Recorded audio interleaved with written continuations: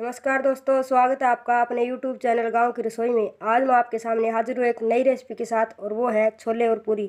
आपने छोले और पूरी तो बहुत बार भंडारे में भी खाए होंगे, लेकिन घर पर जब आप बनाते हैं तो वैसी पूरियाँ आपसे नहीं बन पाती है फूली फूली पूरियाँ। अगर आपको फूली हुई पूरी और छोले वैसे ही चाहिए, जैसे भंडारे में बनते हैं तो एक बार आप इस रेसिपी को ज़रूर देखें। देखिए, पूरी और छोले बनाने के लिए सबसे पहले हमने एक कटोरी चने लिए हैं। इनको हम पाँच से छः घंटे के लिए भिगो कर रख देते हैं।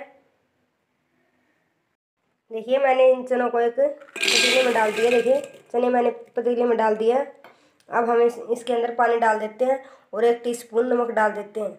नमक आप टेस्ट के अनुसार कम या ज़्यादा भी डाल सकते हैं। देखिए पानी मैंने इसके अंदर डाल दिया है। पानी हमें एक्स्ट्रा डालेंगे ताकि अच्छे से हमारे चने भीग जाएँ। अब हम इनको ढककर रख देंगे पाँच से छः घंटे के लिए ताकि अच्छे से हमारे चने उबल जाए। हम आज छोले और पूरी बनाने वाले हैं। देखिए, हमारे चने एकदम भीग कर तैयार हो गए हैं।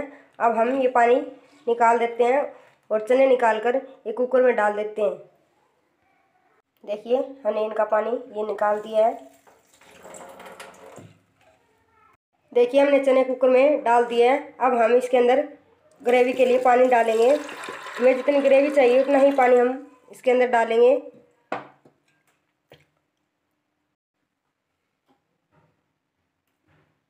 देखिए, हमने इनके अंदर पानी डाल दिया है। अब हम दो से तीन सीटी उबालने के लिए चने लगाएँगे। कुकर का ढक बंद कर देते हैं और गैस को चालू कर देते हैं। मैंने कुकर का ढक बंद कर दिया है और गैस को चालू कर दिया है। दो से तीन सीटी इसके अंदर लगवाएँगे चने उबालने के लिए। कुकर में तीन से चार सीटियाँ आ गई है। अब हम गैस को बंद कर देते हैं। हमारे चने उबल कर एकदम तैयार हो गए हैं।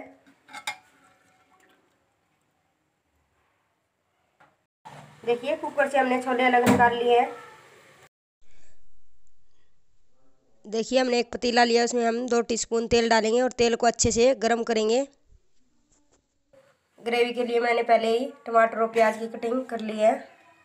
उसके बाद मैंने मसाले लिए हैं। दो टीस्पून मैंने लाल मिर्च ली है, उसके बाद मैंने लहसुन और अदरक का पेस्ट लिया है, जो मैंने पहले से बना के रख लिया है। एक टीस्पून मैंने धनिया पाउडर लिया है, आधा टीस्पून हल्दी पाउडर लिया है, और नमक हम टेस्ट के अनुसार डाल सकते हैं। मैंने जीरा लिया है। देखिए, हमारा तेल गरम हो गया है, हमने जीरा इसके अंदर डाल दिया है। अब हम प्याज की इसके अंदर डालेंगे। हमने प्याज इसके अंदर डाल दिया है। दो से तीन मिनट तक हम प्याज को फ्राई करेंगे अच्छे से। हमारा प्याज ब्राउन हो गया है। अब हम टमाटर इसके अंदर डालेंगे। हमने सभी मसाले मिक्स कर लिए हैं। देखिए, मसालों में हमने थोड़ा सा पानी ऐड किया है, आधा कप। अब हम मसाले अच्छे से मिक्स कर लेते हैं।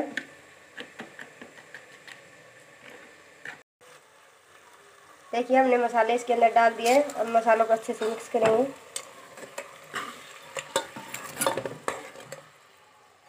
तीन से चार मिनट के लिए मसाले फ्राई करेंगे।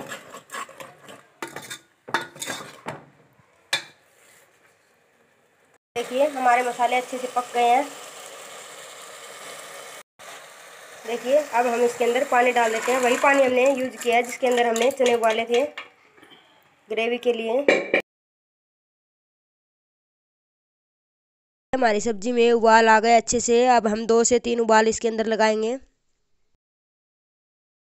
देखिए, हमने इसके अंदर दो से तीन उबाल लगा लिए हैं।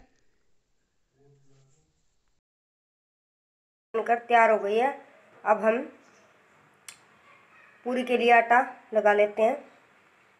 के लिए हमने एक कटोरी आटा लिया है, गेहूँ का आटा, और एक टीस्पून हमने अजवाइन ली है, और एक गिलास हमने लस्सी ली है, क्योंकि आटा हम लस्सी में गूंदने वाले हैं, और टेस्ट के अनुसार हम नमक डालेंगे।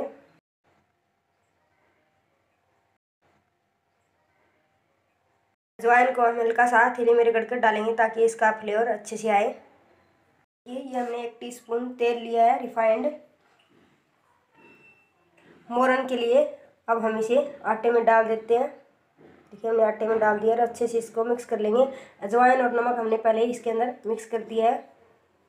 अब पहले हम आटे के अंदर इस तेल को अच्छे से मिक्स कर लेते हैं।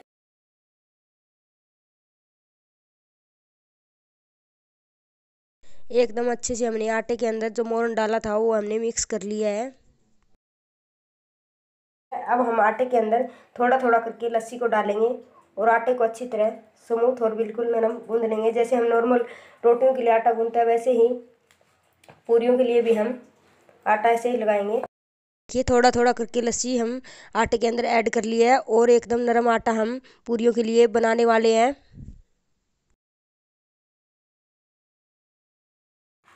देखिए, मैंने लस्सी के साथ ये आटा गूंद लिया है। आप चाहे तो पानी के साथ भी इसे गूंद सकते हैं। देखिए, एकदम बिल्कुल सॉफ्ट और मुलायम। अब हम गूंदे लगाते हैं। थोड़ा सा तेल हाथों पे लगा लेते हैं ताकि आटा चिपके ना और अच्छे से गूंद लेते इसे।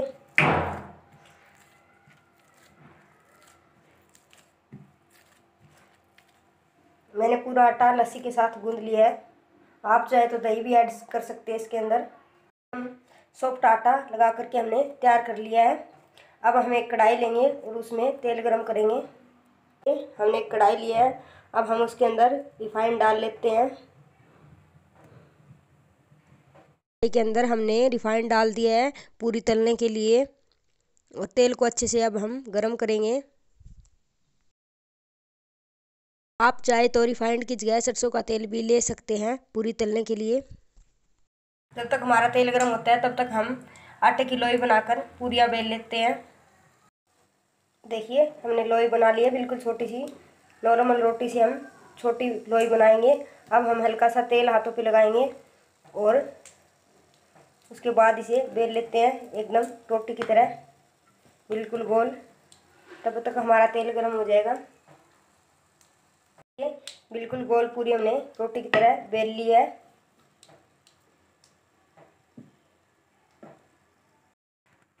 देखिए, हमारा तेल एकदम गर्म हो गया है। अब हम पूरी इसके अंदर डाल देते हैं।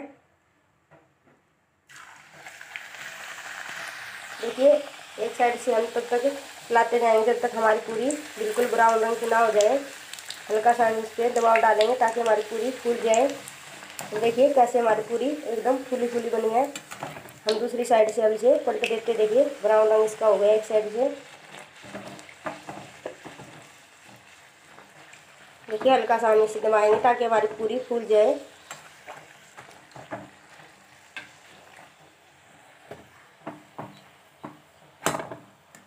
और हमारी पूरी बनकर तैयार हो गई अब हम इसे निकाल देखिए हमारी पूरी बन गई है, इसको हमने निकाल लिया है।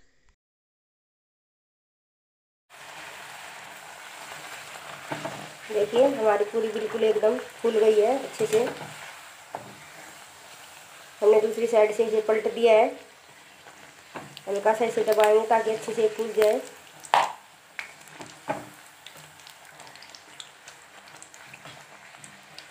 आज को थोड़ा धीमा कर देंगे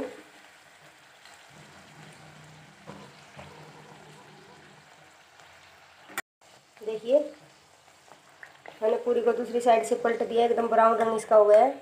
अब हम इसे निकाल लेते हैं हमारी फुली फुली पूरी एकदम बनकर तैयार हो गई है।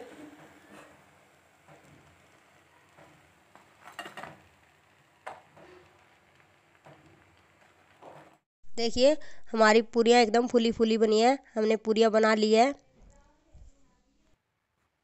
देखिए, हमारी पूरी और छोले बनकर एकदम तैयार हो गए हैं।